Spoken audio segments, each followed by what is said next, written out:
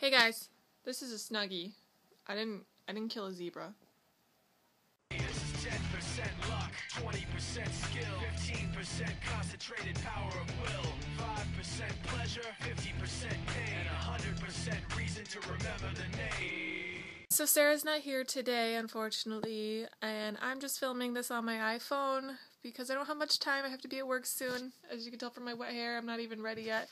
So, um, I kind of forgot today was Saturday. I've been working so much and therefore didn't prepare anything. Obviously, Sarah didn't prepare anything because she's not here. And, you know, life happens, you get busy. But I didn't want to leave you guys hanging today, especially when it comes to Valentine's Day, because I do have some very strong opinions about everybody's hatred towards Valentine's Day. Um, I hate the hatred. I do. It's not it's not meant to make single people feel bad. It's it's it's just corny and it's fun and maybe it is created by Hallmark, but good for them. I mean, there's it's just it's so silly the way people get so worked up about it. So silly. Anyways, so yeah, Valentine's Day. It's I saw these posts on Facebook that of people saying, um, if he loves you, he doesn't need Valentine's Day to show it. He'll show you every day. And I mean, yeah, my husband shows me every day that he loves me. He waits on me whenever I come home from work and I'm tired. He gets me what I need. And I mean, he takes care of me. He's my husband. He's supposed to. But that doesn't just because he spoils me on Valentine's Day doesn't mean he doesn't love me every other day of the year. And that's just one of the dumbest arguments I've ever heard.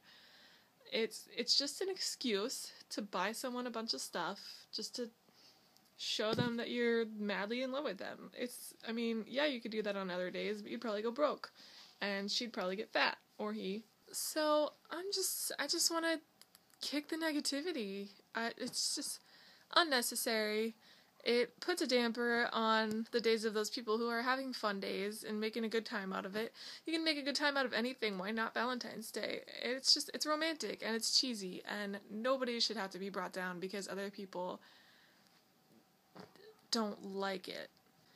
And it doesn't have to just be about romantic love. It can be about your love for your friends or your family. You can have a party, but at least make it something positive. There's no reason to turn what should be a positive day into a negative day.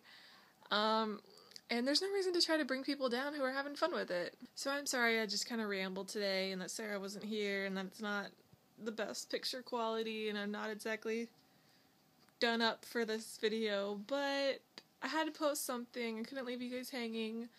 And I hope you had a good Valentine's Day, or, I mean, at least not a bad one. and I hope maybe you'll try to turn some of your negativity into positivity next time this here holiday rolls around. It's all about being positive, guys.